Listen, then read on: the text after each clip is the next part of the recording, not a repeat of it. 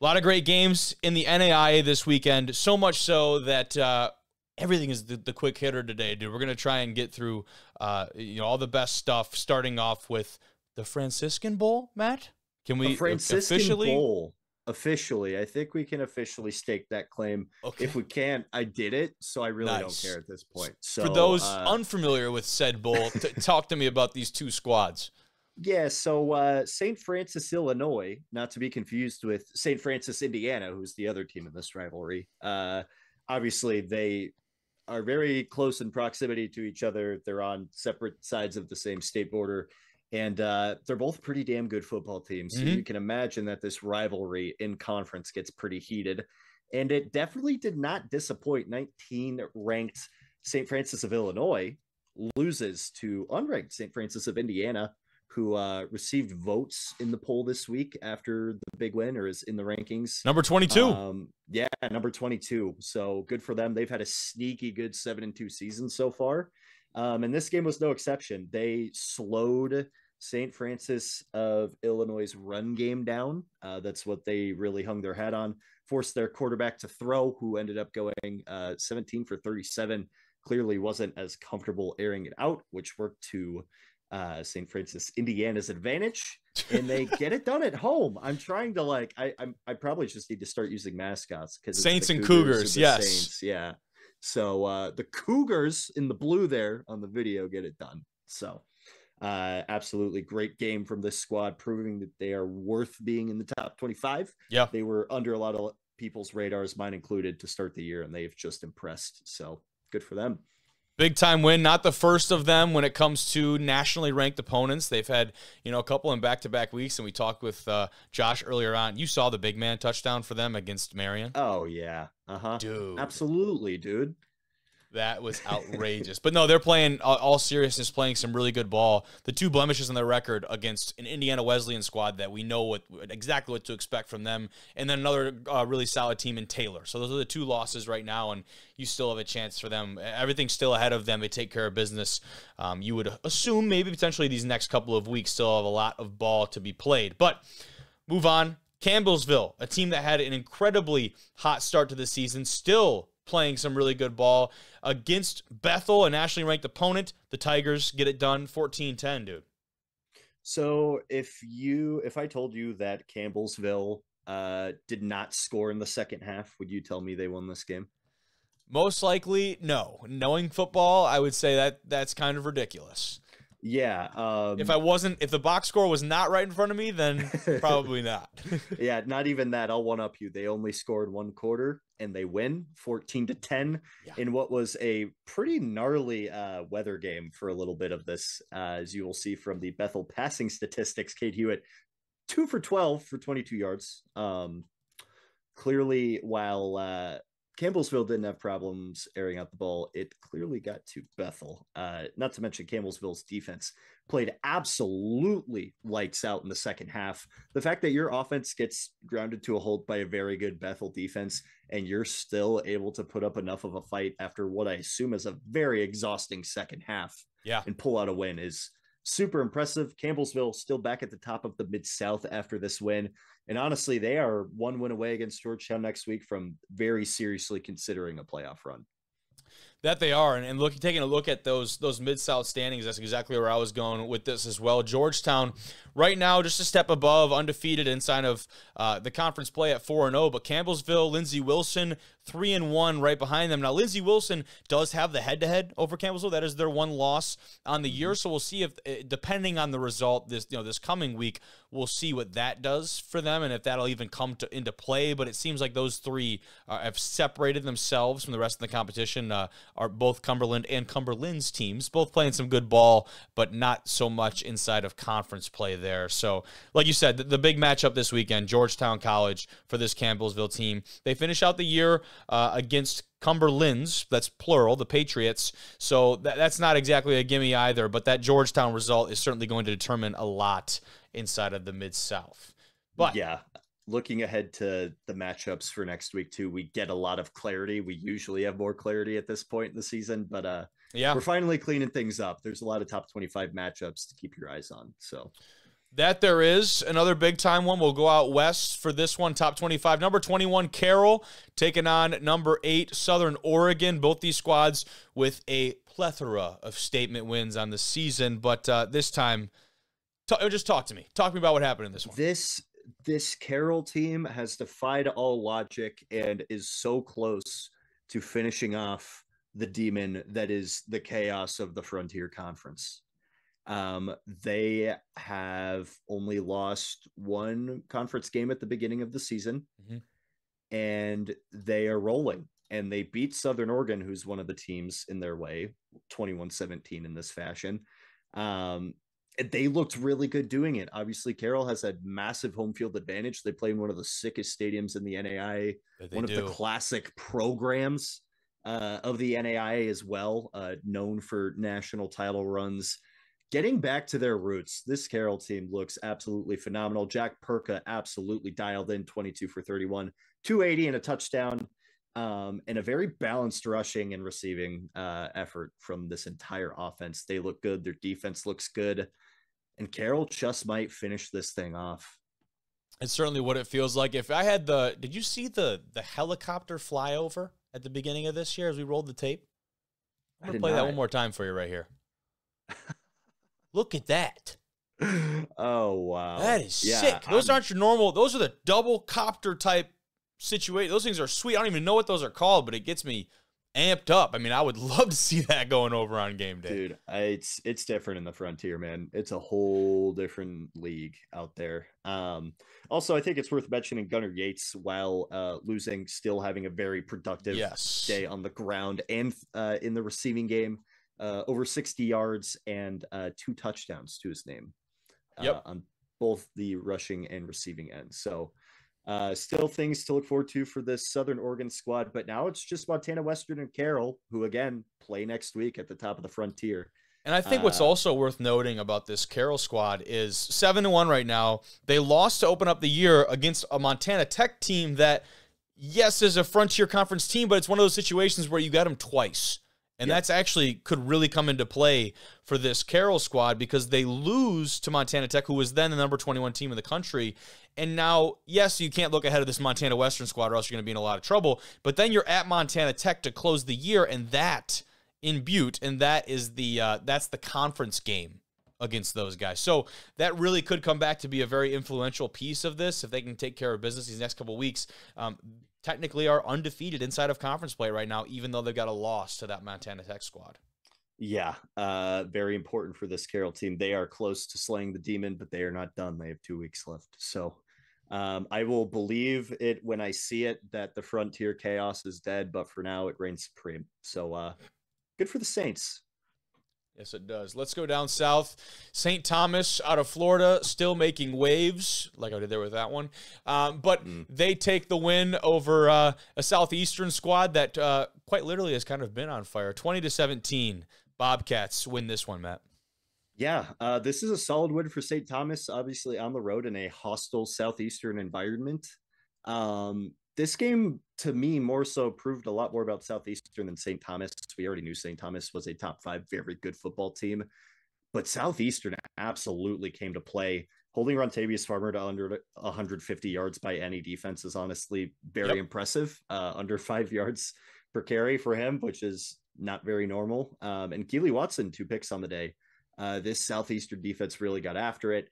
Obviously, St. Thomas is still a very good football team, so they ultimately win. But man, I Southeastern is looking like a sneaky playoff team because their only losses could potentially be to Keiser and uh, number yeah. five St. Thomas. So yeah, it's uh it's a good spot to be. St. Thomas surviving a couple slippery weeks in a row. Um, but you got to win your stinkers. So uh, good for them for getting it done. And like I said, the Southeastern win is not a bad win by any means. And you talk about that man right there in the backfield for the Bobcats. Farmer is now the all time rushing leader of any level of collegiate football in the state of Florida. Incredible. This was last week, by the way. This was October 26th. This isn't even based off this week's performance. He already eclipsed this mark, but we didn't, I don't know if we mentioned it on the show. That is a ridiculous statistic. Yeah, when I'm saying that Rontavious Farmer having 103 133 yards rushing on the day is like low for him, that should be the indicator. That's borderline lockdown. Yeah. I mean, we are talking like Ashton Jeanty times 30 right here. Like just yardage upon yardage upon yardage. This guy gets it done. And uh it's why St. Thomas is as good as they are, is because Rontavious Farmer, like just is the is the bull cow for this uh for the St. Thomas offense. I'm right with you there. And like you said, this Southeastern team, I mean, five and one heading into that game, right? And they had the game, looks like they had a game canceled against Florida Memorial. I think that was uh, mm-hmm. like a hurricane type deal yeah. or something down there. But um, you close out the, the year with Ave Maria and Thomas and, you know, could, could stand to really have a good year. And like you said, those two losses, not a lot of moral victories there, but two not very bad losses on the uh, on the schedule there for that uh, for that squad. But we'll keep it going our pick for the game of the week this week McPherson, Evangel. We had talked about this, had kind of hoped that it would live up to the expectations that we had for when it came to the KCAC and uh, the implications there of conference standings. I think it did just about all of that. Yeah, uh, McPherson, a sleeper team that I'd been looking at as a potential top 25 on my own list, and then they pull this off. And now I have to put them in my top 15 because this is just a fantastic win for them.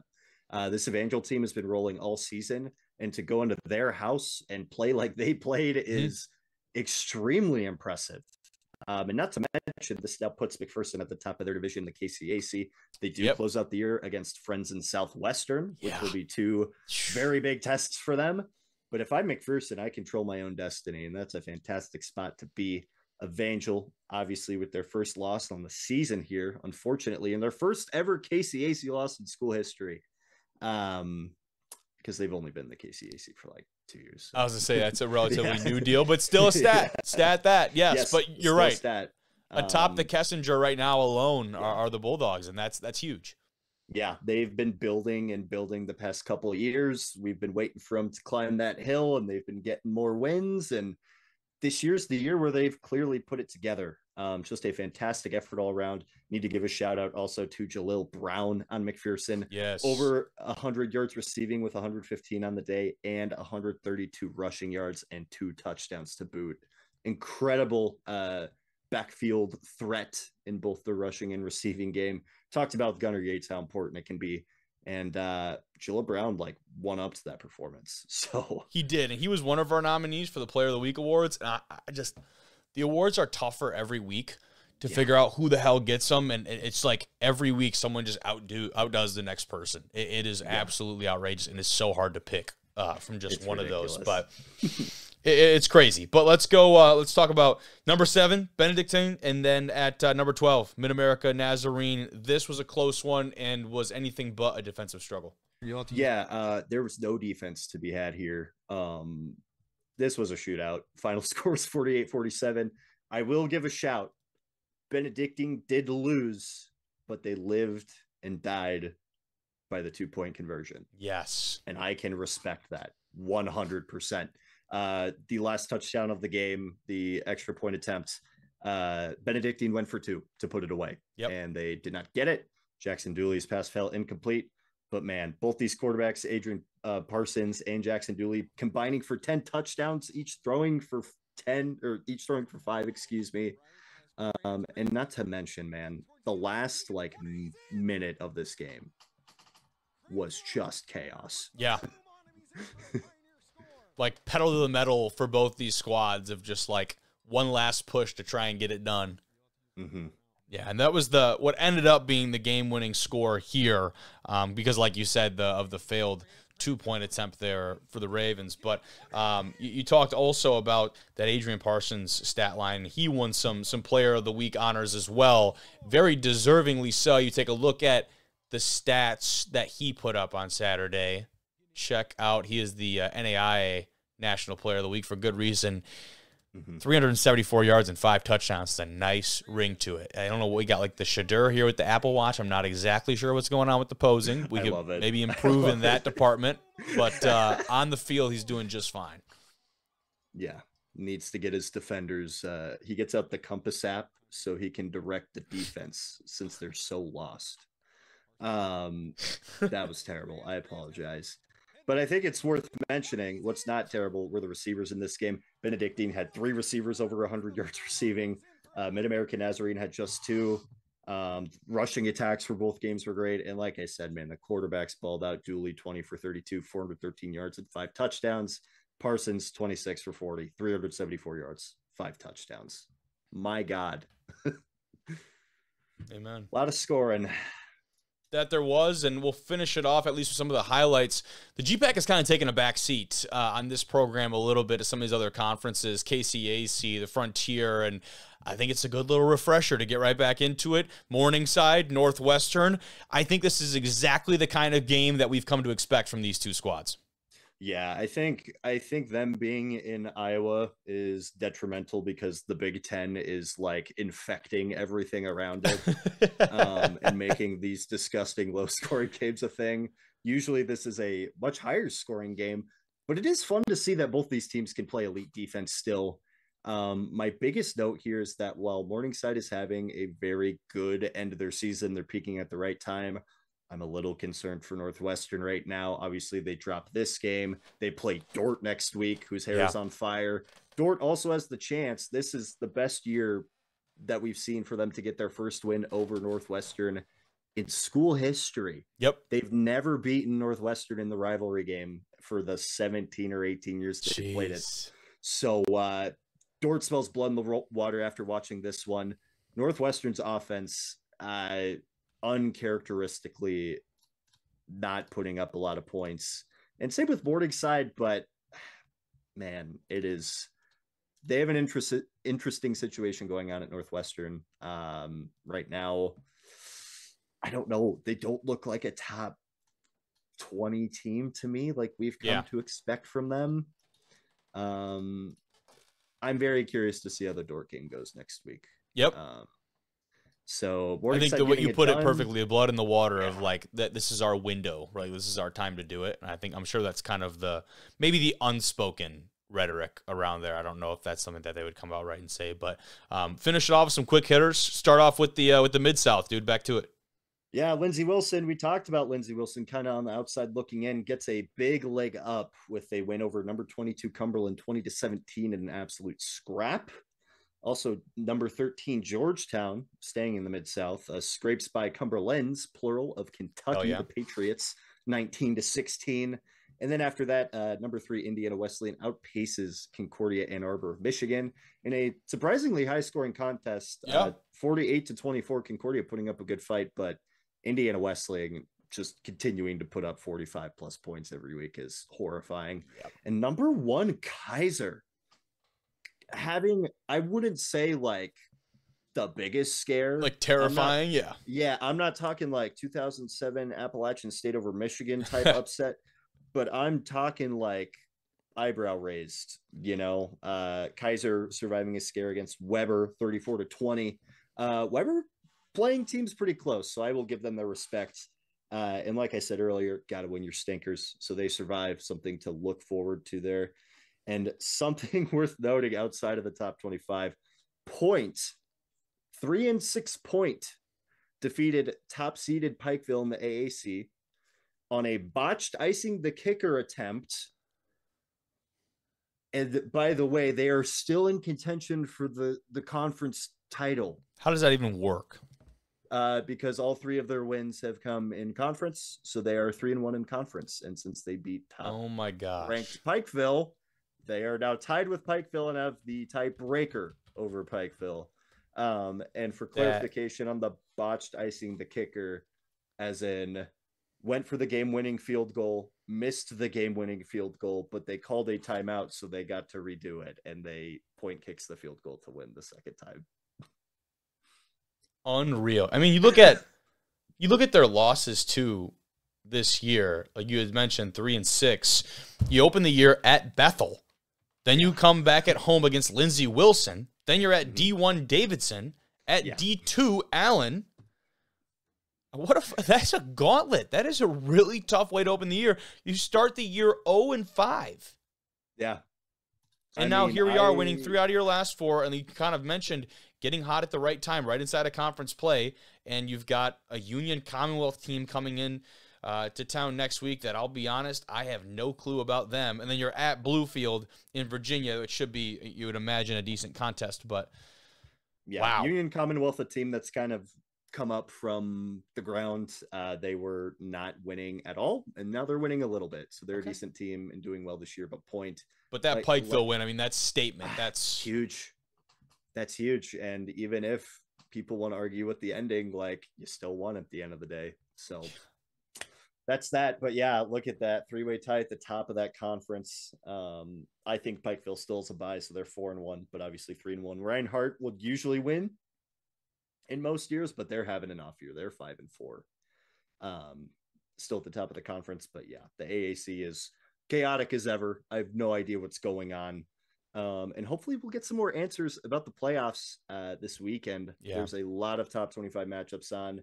Hopefully we can talk a little bracketology. I would like um, that. That'd be cool. I, yeah, I'd, lo- I'd love to, but we'd be here for like an hour because there's still so many hypotheticals that can happen. Um, I can't get over starting 0 and 5 and potentially winning your conference. Isn't it crazy? I'm still I there. I'm, my brain's still there. You play so few conference games in the AAC that like I understand why you would just want to go play a bunch of good teams and see where you stack up, but like at some point you got to be worried about like your standing, right? NAI, that's still like you win the conference, that's still an automatic bid, correct? Yeah. So yeah. as long as as long as they win out, like wow. So then there really is that's yeah. an incentive for them to go out and like you said play all of literally the best competition, get a great measuring stick and then you come in and it's like being in the on deck circle swinging two bats. Yeah, no kidding. That's that's literally what it's like. And not to mention all the out of conference competition for these teams is in the mid South, which yeah. has been very very good mm-hmm. in recent years. And now you add Campbellsville to that mix of teams they could potentially play with how good they are. It's, I mean, they are not dodging the smoke, and it is. Hell yeah! It hasn't bit them in the ass yet,